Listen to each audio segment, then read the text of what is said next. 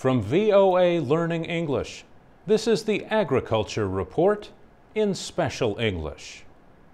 The United States government and a nonprofit research group have carried out tests on rice in the American market. Early results show measurable amounts of the substance arsenic. One form of the chemical, called inorganic arsenic, is known to cause cancer in humans. Inorganic arsenic comes mainly from chemical fertilizers and pesticides used in agriculture. Organic arsenic naturally appears in soil and water. The nonprofit study by Consumer Reports warns that people should change their diet to limit rice. But scientists from the United States Food and Drug Administration say they are making no recommendations until their study is complete.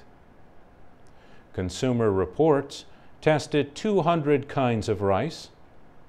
The group said it found the highest levels of arsenic in samples of rice from the southern and central United States. It said the lowest arsenic levels were in rice from the state of California, India, and Thailand. The FDA is testing 1,200 rice samples. It will decide on whether to make new recommendations next year. But the FDA says the levels that are being found in rice do not present an immediate safety concern. It says people should continue eating rice. The United States has limits for the amount of arsenic permitted in water, but not for food. Consumer Reports recommends that, to be safe, people should limit the amount of rice they eat. The group says that is especially true for very young children. It adds that people should wash rice well before cooking.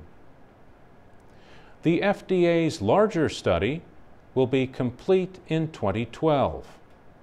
At this time, it says people should continue eating a balanced diet that includes different kinds of grains.